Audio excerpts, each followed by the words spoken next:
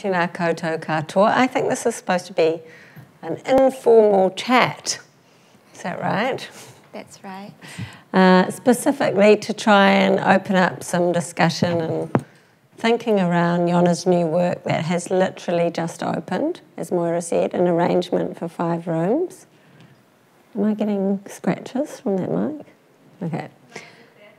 Um, but a little bit of background, Yona, a little bit of a bio on you, because you have been busy, not just now on this project, but for some time. Um, so Yona Lee lives in Auckland, New Zealand, and completed her MFA at Elam School of Fine Arts in 2010. She's had recent exhibitions in many public galleries in New Zealand and also some prominent international venues. So there's been an exhibition at the Dunedin Public Art Gallery, also the Art Gallery of New South Wales, where a solo project was there in their atrium space, their central atrium space. Uh, the City Gallery Wellington, which similarly installed a work in the sort of interstitial space where people meet and, and move. Uh, Te Tuhi in Auckland and um, West Space in Melbourne. And then in relation to these biennial projects, which perhaps have a more temporal nature, she in 2020 uh, returned to her original hometown, Busan, to participate in the Busan Biennial. And in 2019, had a work in the prestigious 15th Lyon Biennial in Lyon in France, as well as the Changwon Sculpture Biennial in Seoul in 2016. The what Yona, you've been calling for some time now, the In Transit project actually began in Seoul in many ways, didn't it? Um, in 2016, where you were having a residency at Samji Space, at Loop Gallery. Um, in the interview that we've just done for Art Toi, um, because I was thinking about this project here and all the use of steel, I thought it was quite nice to start just by casting your mind back to the length of time you've been working with that material that you see here, steel, the stainless steel tube, and just think about the connotations of that material when you first worked on it and whether you in fact thought here's a material I was going to work on for ages or mm. whether it just took shape there. Mm. Do you want to talk about that first? Yeah. Um, thanks, thanks Natasha, thanks Moira, thanks everyone for being here today. Um, so we're talking about the, um, the history of the material that I started working on. And it sort of goes back to 2016 when I um, did a residency in, Seoul, um, supported by Asia New Zealand Foundation at Nanji.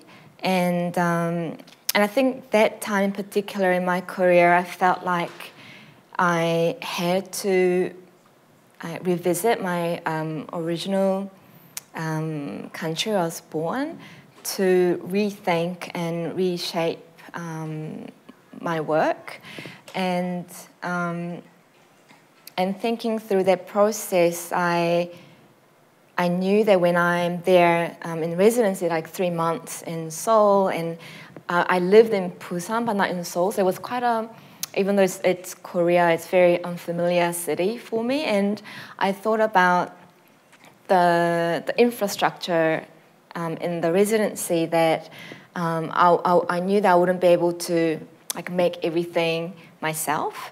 So I had to sort of figure out a way of um, working on a new project that that I can um, bring other fabricators and easy to communicate and so I sort of like turned to more of the generic material. And at the time, um, uh, like the joints, so it was sort of easy, easier to like fabricate with other people. That was that was one thing in my mind when working on a project, and also I also started thinking about the contrast of living in different cities, um, different countries in New Zealand and Korea, and and I thought about the most um, the contrasting experience that I've had um, was due to that the density of population um, in contrast to the land mass. So in Korea, it's like small land, there's like big population, so like everything's so cluttered and so dense, and um, therefore the um, the transportation, the infrastructure there is very different to like living in New Zealand. So I remember like when I first came to New Zealand, like people were talking about if you don't have a car, like it's really hard to live here. Um, but in like Seoul, like the subway, um, the infrastructure and the buses and everything is so like um, like so um, done really well. You don't really need a car. So I thought about that um, that way of like navigating space um, compared to here in, in Korea and thinking about the the subway, the infrastructure and and looked at this handrail material, stainless, and and I started to realize that this material was basically like everywhere. Like at the time, I've, I've took a bunch of photos for my research, and you know when I look through them, they're like the bus handles and like a bus pole and like the subway uh, train where the um, the they uh, support like the bags. Um, and like the handrails and like the uh, fences and even street lights and, and so on. So it's sort of like, and I sort of thinking about like this language of like handrail, like, you know, um, they're there to, you know, safety and like, um, and when you're like in a bus, it helps you to, you know, help you with your body position and so on. And but at the same time, like there's like the barrier um, barricade where it controls your movement and we're so used to like being um, like queuing and, and so on and there's sort of like almost like contradicting um, the language of the use of the material that really intrigued me and and I also like think about especially with COVID um, times where you know like it was always about the balance of safety and um, control, like how much um, control, like you know, like lockdowns and border control. How much do we, can we, um, like we feel quite uncomfortable, but we do understand that they are there for safety and health and safety. So there's something about this, um, I guess, conversation between these two contradicting um, elements that I'm quite interested in went mm. too far there. no, that's, that's great. I mean, it's quite funny when you make a project like we have been making this work that's upstairs for, I think, a year at least.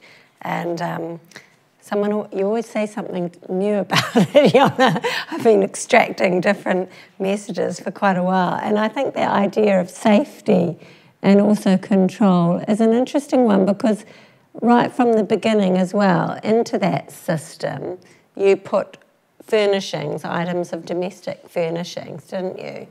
And they became a motif as much as the um, steel itself for this series, which has now reshaped itself in numerous different gallery and non gallery settings.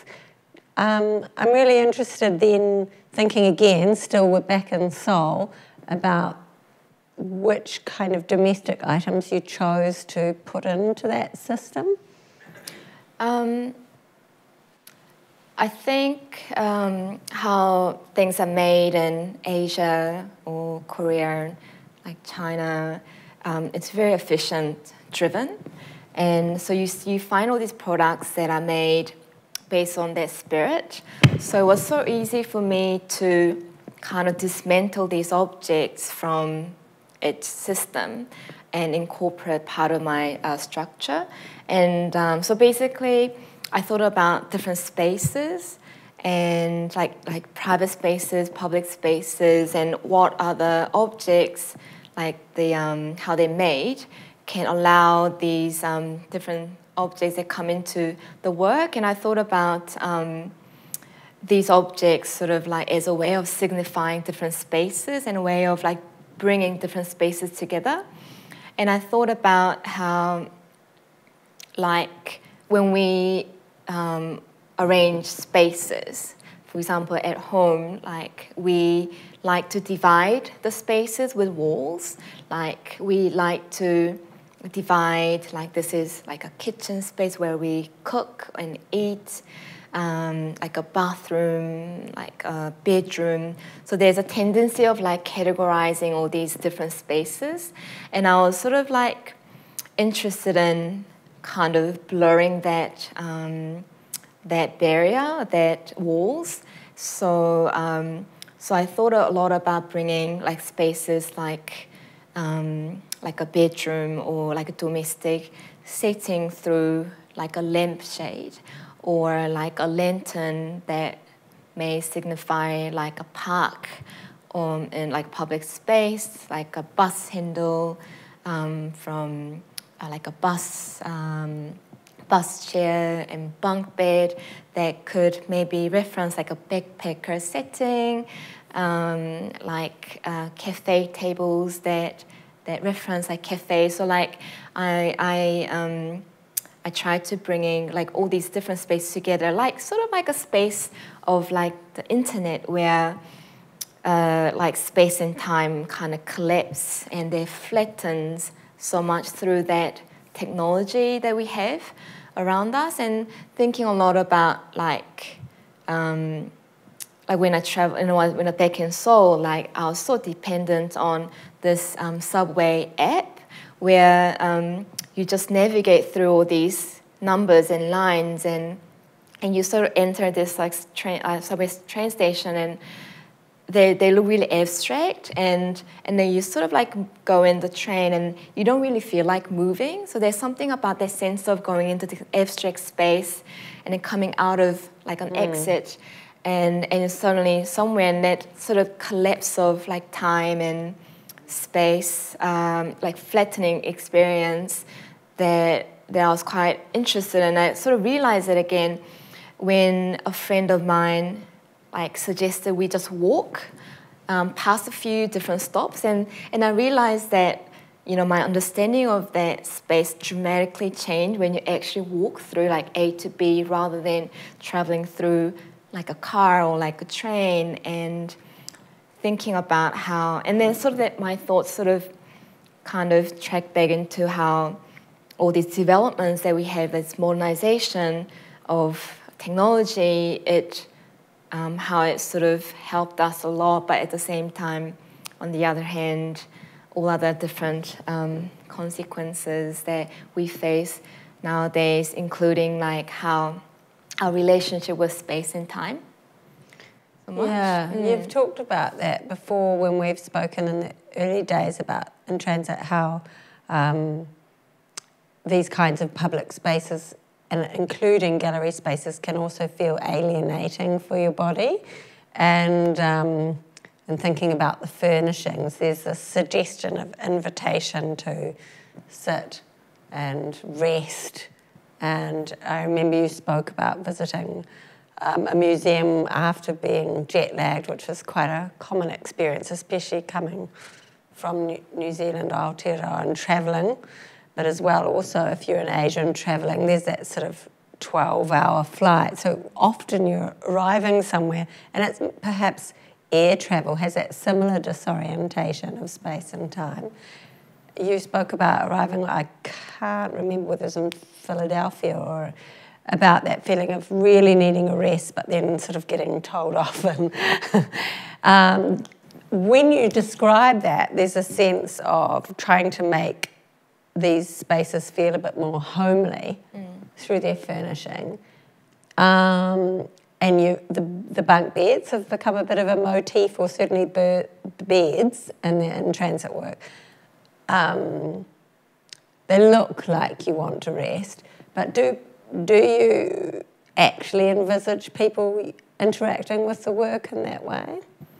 Yes, I do. I think um, it's uh, open, open for the how how um, the audience use this space and the work.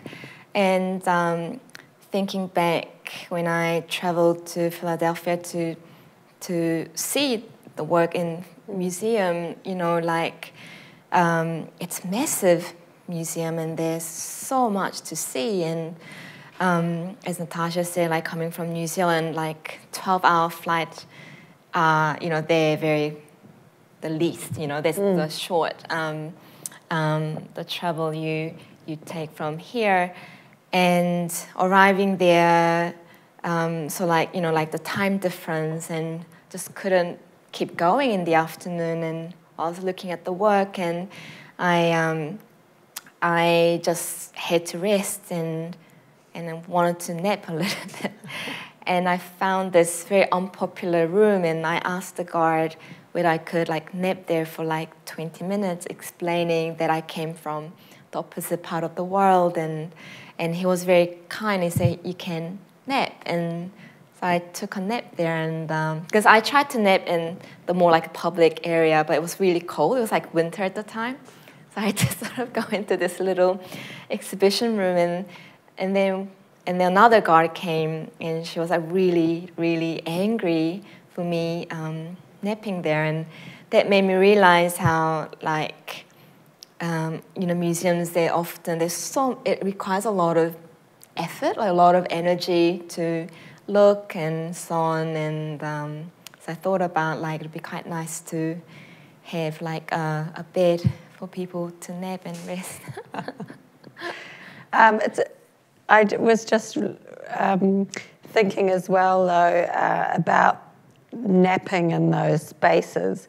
Because you've removed all the barriers and the walls, you're quite exposed. So anybody resting is also going to be on display and performative in a way, yes. unless they have no awareness, unless they're young or mm. extremely tired. And is that part of your thinking as well?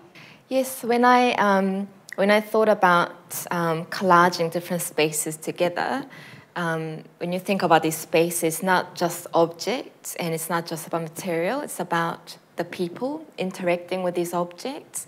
And um, so the, the idea is that when people interact with the work, they're kind of performing, they're kind of like representing their space um, through the work.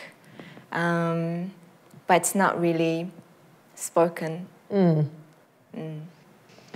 When we launched uh, the new work on Friday night, we discussed actually activating it with a performance. Mm. And we'll come back to that in a minute, but um, I wanted to introduce the subject of music first or in and around performance because um, you've spoken, I think, publicly before about your background with music, but in this piece, it's highlighted much more overtly than in previous works. You have used music stands in the Te Tuhi installation and you've given a musical title to a work, but this one is really composed, yes?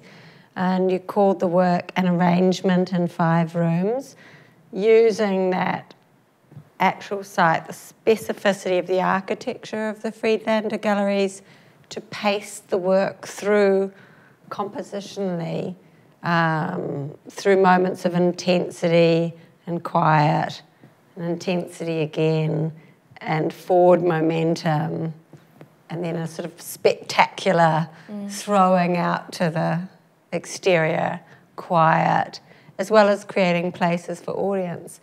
Um, can you talk a little bit, as we've done before, but for the benefit of people here, about that um, practice as a young person and learning an instrument, which can be really intensive, and how, in a way, you stepped away from it to study art and go to art school? And then the reason or the choice to come back to it in this much more specific way? So I, um, I started playing the instrument um, cello since I was like eight, and I got quite serious when I immigrated here when I was 12, 11. And I think one of the reasons was that, you know, I couldn't speak English at the time, and it took a long time to be able to speak and um, understand uh, without too much of difficulty. And I think that kind of setting sort of like um, made me sort of focus in ways of um, kind of communicating in different ways. And I think music was um, something that kind of helped in that process because you don't have to speak and it's very universal language and um, and it's kind of abstract. So, um, but and so I, sort of got into music, got into music school, to audition everything, but my wrist was sort of hurting at the time. So like, um, and physically I wasn't, you know, it, it's very demanding on certain part of your body to, to, to play. And um, so I decided, oh, what are the other um, ways of um, working abstract ways without stressing certain parts part of your body? And, um, and, then, and then I decided to go to art school. And I think in that training, what really intrigued me was how the practice of like trying to understand the composer's intention, like as much as possible. And it goes into quite funny um, areas where you're reading about their romantic lives at the time they wrote the music and like the political situation, like what where they come from and their like family history. You read about their parents' like jobs and it's, um, it's really it's really intense in that because I think there's something about that eager to sort of understand the composer's like intention and like and so on and but there's also quite interesting about how like so they're like a mass are a few pieces of like um, music written for I say for cello but they're like how many um, cellists that perform the same piece of music and people still find something interesting to hear it and, I, and that's where the interpretation of um, individuals that, that come into play. And so there's something about, I've been talking to my um, old cellist friend, and he sometimes talks about his teacher used to tell him, you need to own, you need to own the piece. And there's something about like this voice of the composer and the, um, the voice of the interpreter, they kind of coexist. And I was sort of kind of fascinated in that relationship. And and um, and there's something about this, you know, this act of performance where every time you perform, like there's always like subtle differences, and there's always about um, a, a, sense of improvisation where it's not about like changing notes or like rhythms, but it's all about how you play that that moment of time with different um, like maybe different ways of breathing mm. or like tones and how you feel and you think about the space the audience everything sort of comes into play when you perform in that particular moment so when i um, so when i started thinking more about in the art context that idea of a work that's made in your studio and then goes into museum and then travels into different spaces I found that quite very hard to understand the practice. I was quite confused. Like, so is this work um, not really considering the people who's going to see or the, the museum or the space they're exhibiting, the, the, architecture and so on and so on. So I thought about that a lot. So, I, so for a long time, I worked on like one-off uh, site-specific work, which is um, what I've done for this new project. And um, so going, coming back to this space in particular, when Natasha um, showed me these spaces when we first started our conversation, I, I really tried to understand the flow of the space and what was quite special about these spaces were they were linear. There were like five rooms in, in linear um, way, and there were two um, entry points into the space. And then there was a, a, large room and a small room, and three repeated rooms that have glass facade, and often these three um, spaces um, they have like direct connection with the park, but often they have this built walls and blinds down, uh, so you don't really see that um, the park. And because of the how the museum have to protect the artwork, and um, and they wanted more walls to hang um, the work, and so for me was um, so bringing that sort of um, musical way of like interpreting um, the composer intentions or um, how the space reads. I wanted to like um, work on this project that brings out all these special, unique features that the Friedlander spaces have, that the only these spaces have, um, um, and make them quite special and kind of bring these out through work. And um, so I tried to kind of like, and I thought of, I think because there were like five rooms, um, that sort of helped me to think more about the composition. I think about not only musically, but also thinking about how like a book or like a story might develop through different chapters. Like I was really interested in like if you think about how song is structured, there's like intro, there's verse, there's um, second verse, there's like a bridge, and there's um, and so like I was interested in like how a theme might develop and um, into something else, and then comes back repeated in variations, and there's introduction. So thinking about all these, how like a story or like a song or like in classical music, like a sonata or concerto might um, develop and take people through uh, journeys through the work and thought about like how what gestures might um, work best and, and maximize that um, the quality of the different these five spaces. Mm. I think there is something really beautiful about this work which adds to uh, the In Transit series because you've you have stretched space out um, and uh, in addition you've taken a, a, trademark of the gallery which is the handrail that's actually existing everywhere and a feature of the architects um, and it's made it feel like there's this atmosphere that the actual building is bending into the work. That was something we talked about really early on, how literally you wanted to take the handrail. Um, I don't know how many of you people know how Yona's works, but she's literally talking about taking off the handrail and herself welding on a new piece of steel. Um, so it's challenging, and your skills are at the point that you can replicate that really high finish.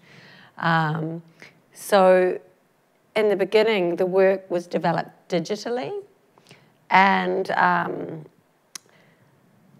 and you had this concept of creating a composition. But uh, that's also brave because you're working intensively with, uh, the, in a way, the maths of the space. You took a lot of readings because no room is perfect. So because Yona's attaching things in such so many points in three dimensions, She's taking multiple different measurements across the floor and the ceiling and the walls because once the steel is made offsite and brought on, there's no room for error really. Um, and then creating this big wrapped steel piece which really just leaves the room open in Friedlander 2, for example.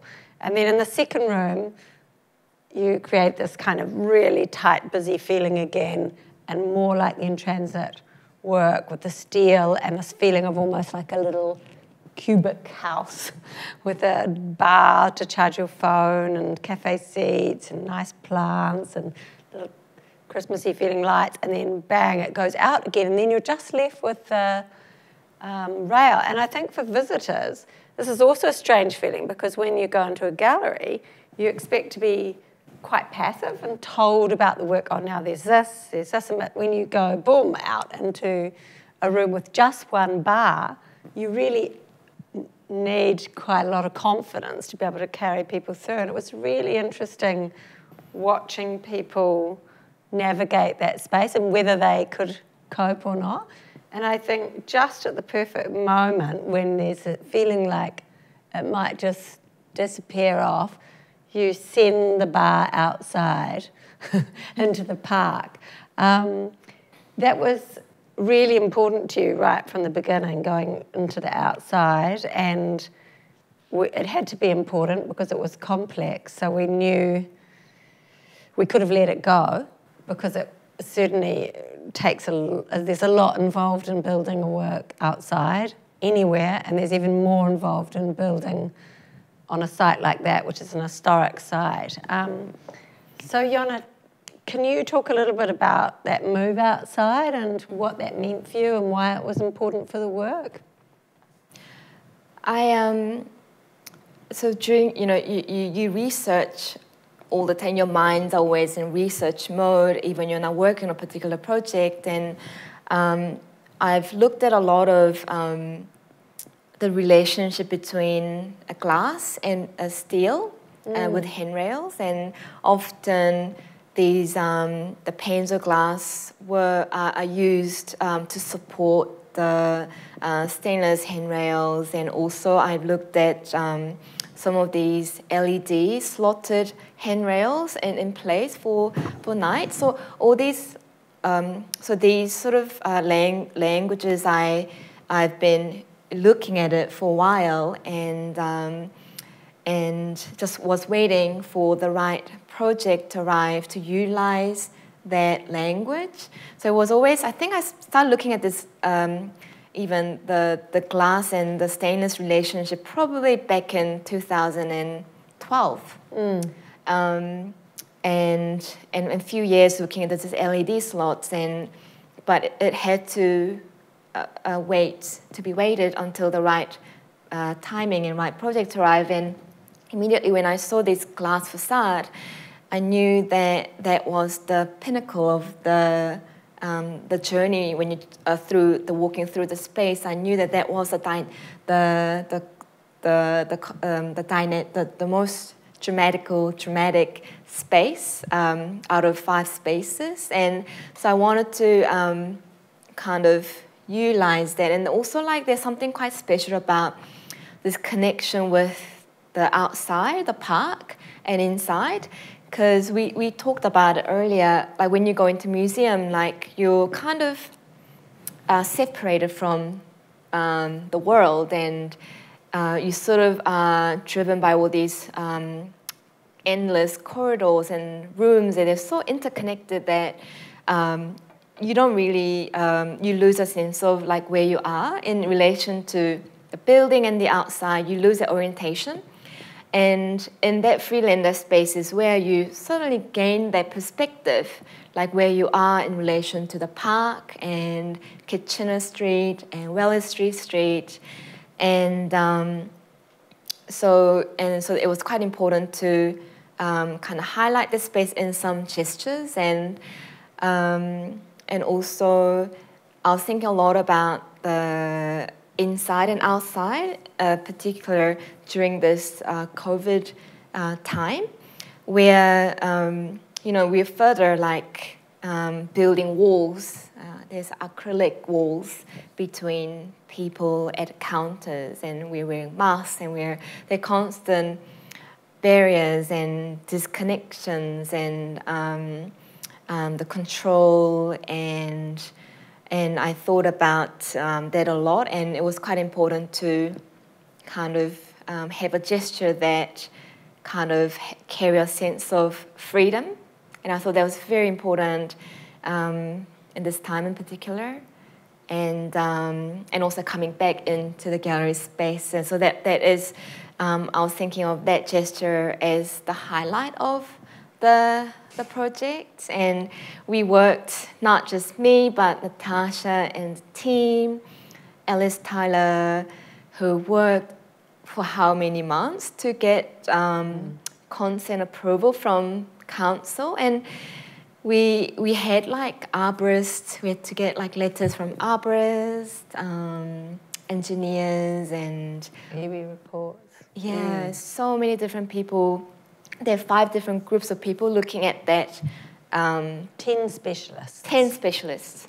So I think so I, I think I learned so much in that process. I think before then, I I think I was just thinking more about just my ideas, my work. But then when it actually went in to outside, there's a whole lot of complications and mm. bureaucracy and like you have to navigate and um, so then you realize again it's not just your work. It's you know there's so many different people um, help to make that project um, possible including the securities and they've been quite generous about that project as well Yeah, it's quite beautiful too because actually it's a relatively small part of the overall work. So it's a disproportionate amount of work in some ways to achieve that small piece. But it is beautiful having, as you say, the LED fit in because it adds something quite different. I don't know if you've all seen it yet, but like you have the two knots at either end of the work, the LED um, doubles its reflection in the mirror. So spatially, it widens the work out uh, laterally, which is a really beautiful touch to the piece, as well as providing a nice place to have a cup of tea. um, I wanted to talk, Yona, a little bit about, again, this idea of um, the title in transit that you used and especially beautiful, I think, was a piece of writing. I can't remember. Maybe it was by the curator who worked with you at Loop. Was it? Yes. Yeah, and she wrote again about the piece in Busan. Mm. So that was reflecting back on the original, but also on this new work for Busan. And based in um, Korea, she was thinking about specifically wanting to tackle what do these forms say about home. Mm and what do they say about diasporic subjects and the relationship to a fixed home? I think it was a, a really beautifully written text, and um, it strike it did strike me that there is something um, quite apart from the things that we're quite used to hearing about art and its interactivity. There's something more that you're wanting to do here, mm. and in around the subject of creating a new nuance for migratory uh, subjects and the idea of home being something that is both flexible and uh, rooted. Mm. It's okay, and, and, and okay. It has, it has these, as you say, kind of like um, off the rack mm. um, furnishings, and yet uh, a feeling of connectedness is there. Mm we ended our interview talking a little bit about that. But do you want to talk about how you see mm. yourself, what your view is and around that idea of transitory mm. um, home and? I think that was Chonga Chonga Lee. She was, yeah. was the curator at Loop, and she wrote a piece um, at for Contemporary Hum. That's right. Yeah. Um, for the piece I made for Busan and um, and I think a lot about like this temporal nature of these structures that I'm creating, and and it was when like I didn't really think of it as a livable structure when I first um, worked on it for a large scale for Loop Gallery in Seoul, and um, and I had like you know I had very limited support at the time, and so I had like one welder and myself installing that scale of work for five days. So it just makes no sense when you think about it now because, um, so like, he he worked really efficiently. He made it happen, but at the same time, like I I had to stay there like till late night and and and ended up not having time to be able to go back to my residency to sleep. So I had like a bed, not bunk bed, just one single bed installed there more like um, I, I thought it more like um, like um, what are the furnitures you use for like stages like um a set like a set mm. uh, rather than a functional object because I even had like a bar across uh, the bed suggesting that um, no one's allowed to sleep there. And, and I looked at around and looked around and I saw a bed I installed there. Um, and I had to sleep there overnight for a couple of days. Um, and that space was like very industrial, like it was concrete, a ceiling wall floor, and not floor, ceiling wall, and no windows. It was underground, mm-hmm. and it was like at winter, um, close to winter, and um, and when I slept there, I realized that how cozy, how cozy the experience was, and I was quite um, surprised of how comfortable um, sleeping in that structure was. And then I realized that I was making like a livable structure, and I was thinking if I only had like a shower. I think someone actually mentioned at the opening, like he said he was in Freeland, the two gallery space, and he said, "Oh, if there was a shower, I could like live here." And so that was when I sort of started thinking about I'm actually li- making livable structures and and when I showed in Lyon, like these French people were calling my work, this is like a kiwi nest, we'll take care of this when you leave. And so that sent the idea of like creating a nest, like a temporary home. And I think that kind of goes back to, I think, um, an experience of living as a migrant, um, like relocating um, your home and your idea of home of as a like permanent uh, place. Um, you lose that sense of meaning, and when you actually construct a new home, a new land, you you sort of like start to dis, um, deconstruct what comprises of a home, what you need mm. to live. And it's, it's kind of similar experience when you actually travel, like you pack everything into a bag and then you start to identify the essentials that you need um, to keep going. And, um, and I think that idea or the experience definitely feeds back to when thinking about in transit, when moving through spaces, different countries, and navigating different infrastructures and ways of living. Mm. Mm. It's, it's additionally quite resonant in that case that you supply music for your essential, mm. essential ingredients of home. Um, we also talked about the resonance of this pipe um, and um, being a new quality to the work. Uh, I wonder, did you think it was successful on Friday? I'm just going to ask you now in front of everyone. So what what we did, we it was a bit of an experiment, but we asked a cellist to break a work up into five parts and play through the work. Originally, our idea was that he would sort of sit on the work, but he wasn't so keen on that, was he? But um, it was it's quite early days to mm. unpack it, but it really changed the work, didn't it? Having him, he played a contemporary piece for music fans. He played a Hindemith cello sonata, Opus 25. Yes. Yeah, mm. number three. Um, how did you feel about it? I, I, thought that was a really interesting experience because, um, you know, I think about this experience going to a concert and they lock the door and you can't really leave for like two hours and um, it's very um, you know it's very uh, controlled environment. And if you actually leave it's very inappropriate. And people look at you very uncultured and uneducated. And um, but there's something about seeing people in museums they just some people you know just walk like straight past a painting like hardly spend a minute.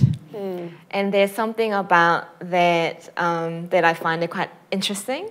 Mm. And I think when Vincent played the piece, there's something quite nice about slowing people down mm. to uh, appreciate the work. You know, he played like uh, a piece and then moved to the second space, and then people followed him, and then we um, sat there until um, he finished playing, and then we moved to another space. There's something about him taking the people through the space in a more controlled manner, I think. It was a bit Pied Piperish, wasn't it? Yeah, no, it was beautiful, particularly um, in the dance room in Friedlander 2. He, we positioned the chair right in the middle, and it was in the third movement of the piece, which has a bit more Mm. intensity to it. Also, was was quite powerful, but also he did. He looked suddenly. There was this literal interpretation of the work where it looked like he was in his bedroom practicing. Did you feel that? There was something quite strange about that and almost autobiographical.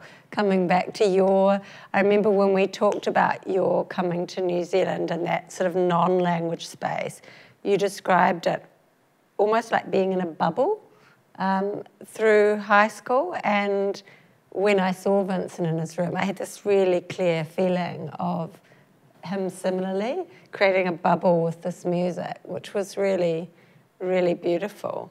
Um, I'm not sure what else there is to say, and I feel like we've canvassed a lot, and there's more.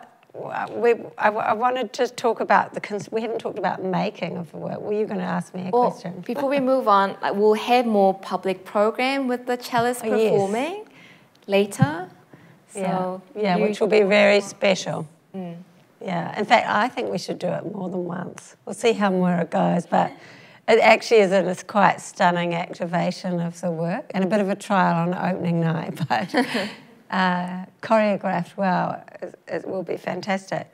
Um, I don't know if everybody knows that you also make the work yourself. I know that also, um, in other words, all the bending and welding you do off-site yourself and have not got a welding certificate by apprenticeship, but have taught yourself more or less on a needs basis. So for this work, which matches the gallery's highly brushed finish, there's an extra level of process involved. And it's extraordinary to think of you developing all of the material and bringing it in on, I don't know how many truckloads we ended up with. Um, when we spoke earlier too about artistic influences, I know that you bring to bear on the work an interest in sculptural minimalism. So, thinking back to artists from, in particular, the 60s in Europe and Northern America, artists who were exploring industrial materials and particularly kind of modularity. In other words, the way in which steel could be used in multiple different settings or a precast, pre made form. Um, and you mentioned your interest in artists like Charlotte Posenenske, for those who are interested in that reference. But what I was thinking about when the work was coming into shape actually was, as well as that, and the motifs from the 60s of industry and the sort of hardness or the uh, absence of human hand that was, in fact, desirable and part of the awe to those works there's a you're bringing back that homeliness quality. It really softens the relationship to steel, but equally, it makes um, it draws you in to an experience where you're quite intimate with the beauty of metal. Um, you have just been through this enormous, incredible process of months and months and months of making through Christmas, through lockdown, creating these incredible friendships with industry so that you could build in the workshop during level three. um, how do you feel about that relationship with the steel now, and and will you continue with it? I think um, I love the the language from the '60s, like the minimalism and so on. But I do find them quite problematic. How they're very male dominated, and if you look at some of these um, work made by these um, males, they're very masculine. There's no emotions. There's no softness in it. It's very about holding space and um, and for me and I'm also quite interested in these you know those furnitures from the Bauhaus period. And they're also very male, male dominated. And I think when I see this material, I find it very, you know, they're very cold, they're, they're very industrial, and very, uh, if you go to like metals com- uh, uh, fabricators, you know, they're like loud, they're like very um, dirty, and they're um, cranes, and, um, and even now, like some of these um, companies have these calendars of like um, girls and girly calendars. Yes, they still have them around. I don't know why, and um, so I find this material like really, really um, cold, and and for me, um, bringing these objects and um, as you as Natasha said, it softens and and makes it um, quite invitational, and also like these tubular lines in space for me they i believe that they come from like my understanding of like sound how they um, vibrate in space and how they um, and how they sort of like work with space. So i think you know when you think about music it's all about emotions. It's all about um, like dynamics of like being sad, being happy, and all these um, not new, you know, endless um, colors of like tones and emotions, and and I think um, these objects and like my um, understanding of like sound and uh, music and that that layer of like layers of emotions, sort of like softens that industrial. Um, um, aesthetic of the work. Mm. And um, what else was the? I think that was all. We, we were talking about the resonance of it, and, and, and as well as that, I think something about because of the fact they're hollow and you leave the, all this negative detail, it creates a lot of lightness to the form and a feeling that what you're actually looking at in steel is a kind of a drawing. Mm. Sh- I apologise for not having images of the work. I'm assuming you've seen it or see it. Um, perhaps we'll close there, Yona, and because somebody might have a question for you. But just first of all, before we close, a huge um, token of appreciation for all that work you've done from all of us at the gallery, but also for the public of Tamaki Makaurau and Auckland. Um, it's, the work is going to be up there for seven months, which is also a real privilege to have a sing, someone of your capacity think through a single work um, to occupy five spaces is no small feat. Um, so we will have time over the coming weeks and months to enjoy it through program. We have a panel series. We're hoping to get a small sequence of Korean cinema um, up as part of the program, the music, as you've said, and some talks about the work.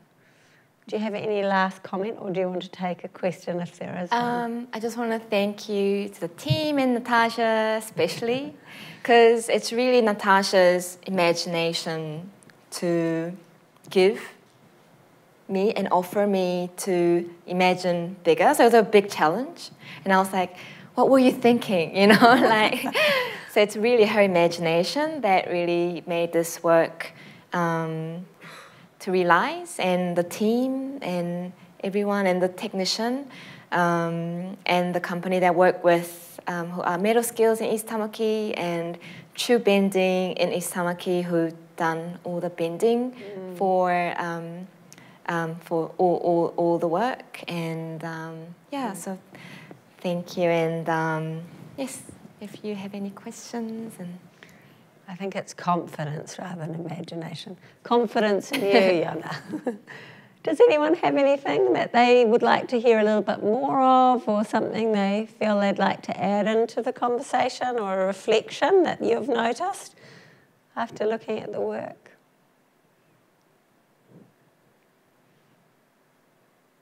It's also. Raise your hand, I can bring a mic. I have a quick question, Yona. So, um, you talked about uh, the two different entry points into the show. Do you anticipate that the journeys would be quite different, or did you set it up in a way that it that wasn't really that didn't really matter for mm. visitors?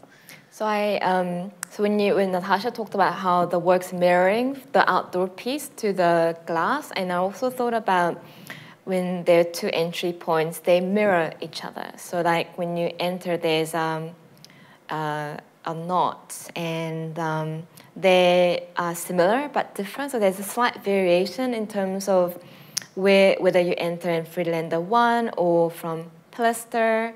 So there's something about mirroring um, uh, language in, in the, the, whole piece. So um, either or, um, they will be very similar in experience with slight difference. Mm. Mm-hmm. Thank you. Um, question here. Is there a question? Yes. Great. Bring this up. Thanks. Sorry, just a quick one. I, I was about earlier on. You said that um, you had these space. You've got spaces where you have places where people can rest, or um, we can see the beds in the in the picture here. But I wasn't sure whether to what extent people actually did engage with that or were frightened of doing so, mm. and whether there was any way that you can actually make people feel more relaxed to do it. Because I suspect a lot of people are going to feel very self-conscious if they lie, mm, lie mm, down. Mm.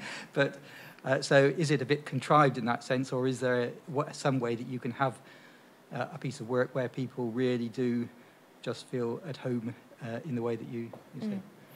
Um, that's a really interesting, interesting question because the, the context of where the works uh, were um, presented, um, it dramatically changed how people um, interact with the work. And, um, and because it's um, like a museum and we, it reveals our, um, those restrictions we often have in museums where we're constantly told not to touch and not to um, sort of like to walk too close to a painting. Like we're so um, accustomed to that behavior. So I think um, this work um, definitely challenges that uh, um, notions and what we have to, how we behave in, in museums. And, and I think um, if you feel uncomfortable, if you feel, and I, that, I think that sort of process of revealing that, um, that language that we're used to going to museums. And I think less of like museum context, like when it was in Te Tuhi, um, it was more like a community space. Mm. Uh, people, people felt more comfortable to use the bed and use the tables. And I think it's, or it's more about kind of revealing that hidden or mm. unspoken rules that we're accustomed to visiting these uh, particular spaces. Mm. mm particularly complex with this work because when something goes outside, it basically has to meet building code standards or you have to get a building waiver. So from all kinds of angles, it's difficult to get consent to build, literally, unless it, you know, meets a certain waiver. We managed to negotiate a kind of a grey area in between that an artwork has because it's not a structure that needs to be compliant, but also we need to mitigate uh, the 5% risk that somebody climbs on it and does fall down and break their neck and then you know so what we need to be just make really clear is that this is an artwork right? And then if you do something that's against the ethos of the artwork then you're yourself responsible but that creates an unusual message as well if what you're really doing is inviting people to sit. So we've had to spend a lot of time in that in that space that you're talking about, and we did talk about it. We will also have to spend, I think, at least one session with the gallery assistants because it's very different and hard for them, in fact, to go during their day between spaces where they're like even the Ugo Rondinone, which is actually a very vulnerable work with no barriers. This is the big clown work in the North Atrium. It's actually quite vulnerable. Yona's is not vulnerable, so they immediately switch to saying it's okay to touch, but having someone even present there can, as you say, make somebody feel self-conscious. So I think it's people will move through it in relation to their own needs, and I think some of the needs, I mean, maybe the sleeping one is quite reserved for a few. But uh, I think a lot of people use the charge station and sit down because uh, I don't know if you've been up there yet, but the relationship to the park is really special.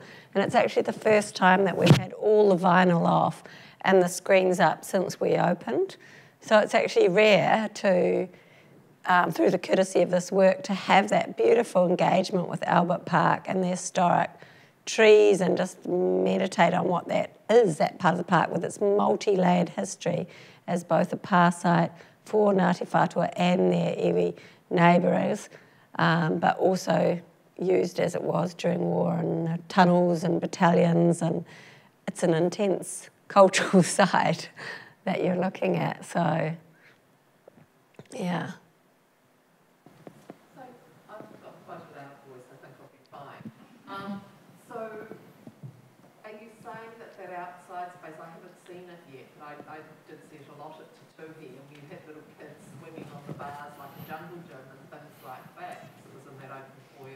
Mm. space there.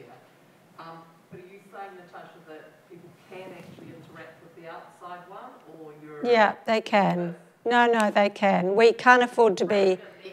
Yeah, yeah, no, we, we can't afford just to be nervous. We have to know ab absolutely what it's capable of dealing with. So we know that it's not capable for five grown men to swing on it. Uh, and it's not really supposed to be used. I mean, Yona doesn't necessarily want people sort of like uh, lumbering all over it, but it's got seats. You can sit on it absolutely comfortably, and that's what it's for. And it's got an umbrella for shade, and if a small child decided to climb it, it would be strong enough to handle it. But you know, I'm talking about the neuro social neuroses about public spaces that are embedded in our health and safety laws. So it doesn't have safety mat under it. That's its main non-compliance area. Mm. Mm. Has anyone got any other questions? yep. I'm rushing up. Do you think that's fair enough? Mm. Hello there. um, thank you so much for this talk. It's really interesting. Um, but I encountered your work in Te Tuhi um, previously a few years ago, um, and I just really love how the work really encounters the space that it's set in and like really um, engages the audience to view parts of the space that they wouldn't have previously appreciated.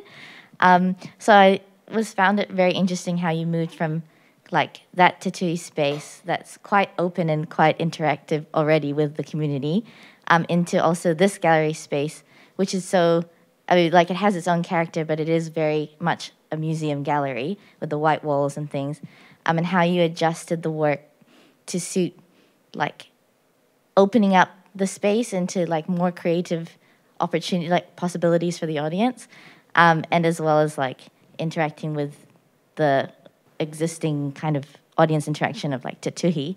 So I was wondering, is there ever a space that you um, are wanting to go to that you'd like to create a work to suit that space, like an ideal space that you'd like to build your work from in the future?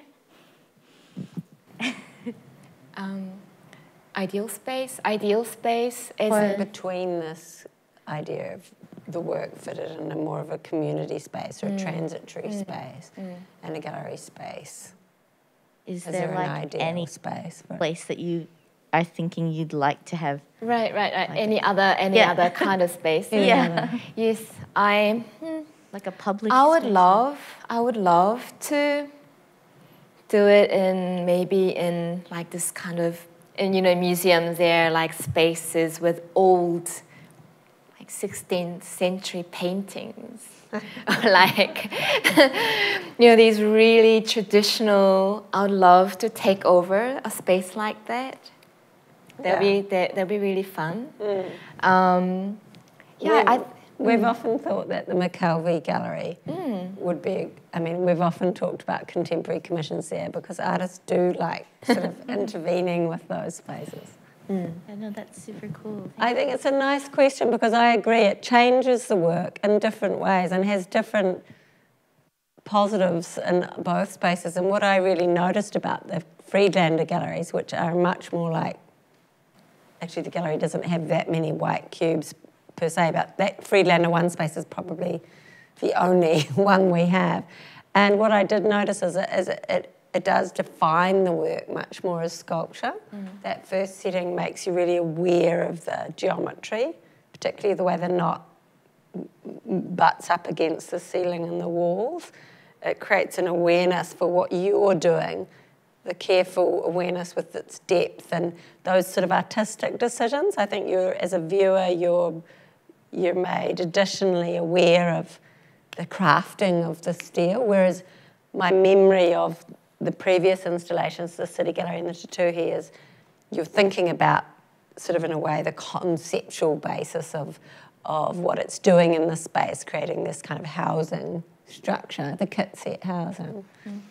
We haven't talked about the different whole uh, system you developed to, mm. to make this work. There's quite a lot there as well, and rethinking its how it's constructed. But I don't know if I think we're probably at time where some people time. need to get out probably and stretch. And yeah, sounds like another um, conversation event though.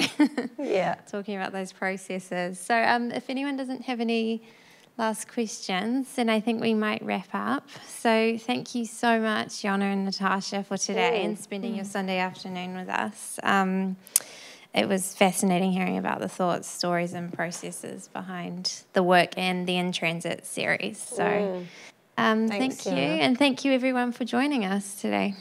Yeah. Thank you. Thank you. Thank you.